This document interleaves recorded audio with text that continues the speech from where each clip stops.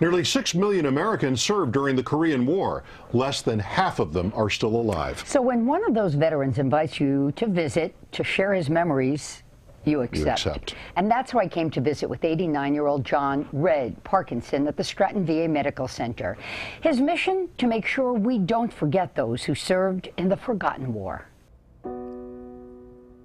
Like this every time. We fought every inch of the way over one mountain into another one. Red Parkinson was on his deathbed, and he is a man who experienced the horrors of war. He was a hard man and a prejudiced man before the war and had a real turning around.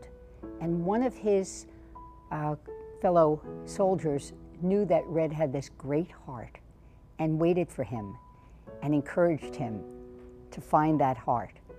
And when he did, Red will tell you, he went testifying around the country. The story was Red's last chance to testify. I had to get that right. And he trusted me to get it right. And I could see in the eyes of his wife, who was sitting there, he trusted us. It was an honor to be able to do that with and for him.